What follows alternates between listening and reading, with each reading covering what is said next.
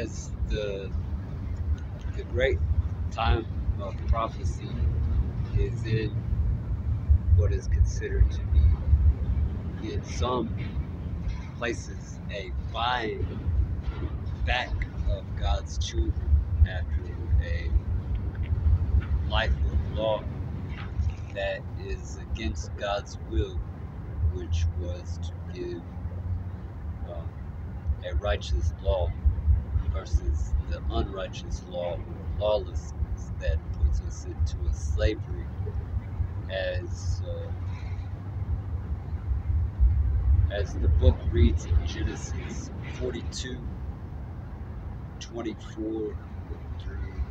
27 it talks about Joseph the the king who filled the sack's mouth up with his money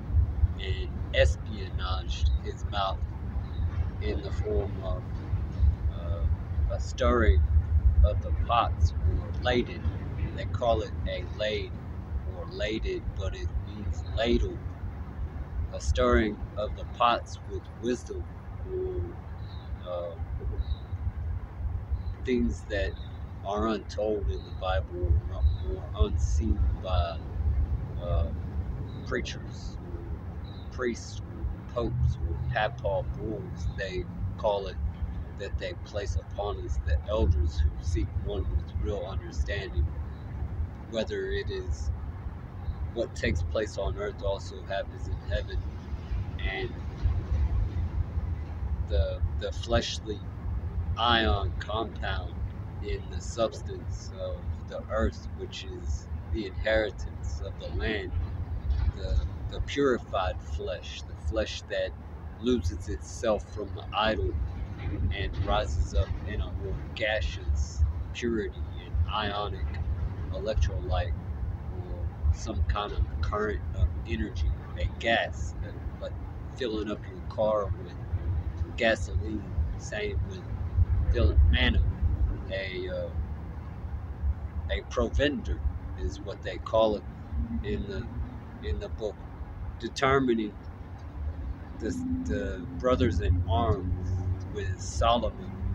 and Saint Matthew is said to be reborn in Jesus Christ as the ladle, the only one that can stir the pots up in heaven. As it reads in Daniel 8, the the Persian and the Mede. And and then after that, someone who stands up against the sanctuary, but the sanctuary is above and it also lives in this world as a watcher of heaven's hell or a watcher of the earth. And in that great uh, in that great provender whether it be from a king of the earth or an elder above who had uh, mastered the puppets to slay slaughter livestock and place it upon one in resemblance to literature in the Bible able to decipher the archangel. Or if it is somebody in the earth that is with uh, much baptisms that um, are in a, they say, a damsel in distress, in a dire need of purity